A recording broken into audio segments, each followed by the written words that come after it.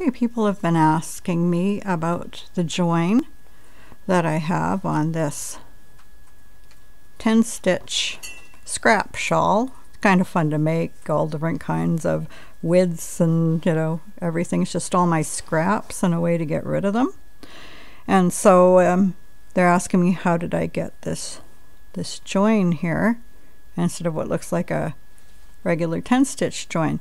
So I used the flat join called the Tamsin join because Tamsin Stratford was one who created it. And I love that join.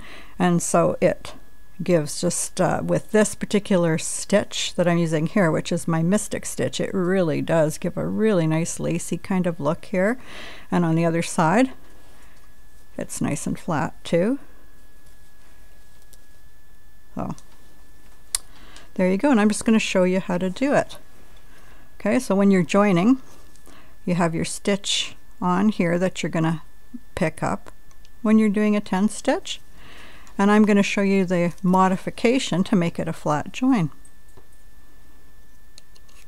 And it works with any stitch that you want to that you can make uh, in a 10 stitch style or even when you're attaching strips.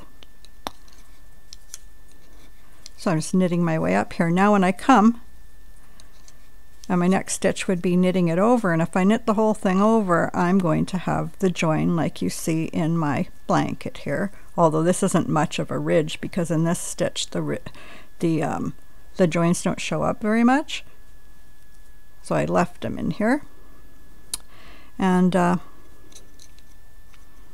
but in this particular blanket, I, want, I wanted to have that nice patchwork kind of look, so I did want to have a flat join. Okay, so now instead of taking both of these over, I'm not going to do that. I'm going to go in here and just take this one over. And that's all. And then when I come over here and knit over, that's what gives me the flat join. Now Tamsin has another method where, where she just takes the top loop over as well, but what that does is, um, although it gives you a flat ridge on one side, it gives you kind of a ridge on the other side, and I don't like that. So I just do it this way always.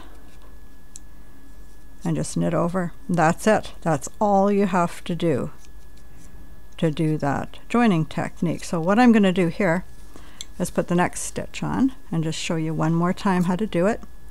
So there's the next stitch I would pick up and then I got to knit down there and come back but when I come back I'll have put this over and you can put it over now too. As long as you get it over it doesn't matter if you do it now or when you're back up to put it over but it goes over. And then I'll knit back down come back and just pick it up put on another stitch knit it over in the two parts and that's it. That's all you do to get the flatter join Okay, I hope that answered your questions about how I got the flat join on there. So have fun and uh, enjoy.